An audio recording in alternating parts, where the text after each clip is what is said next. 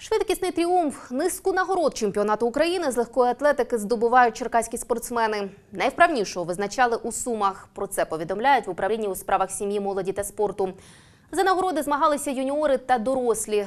Першого змагального дня черкаські спортсмени вибороли нагороди.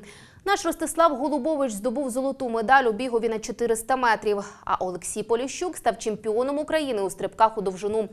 Потім наша змішана команда здобула бронзу в естафетному бігу. Ще одну третю сходинку забронювала наша Вікторія Ніколенко.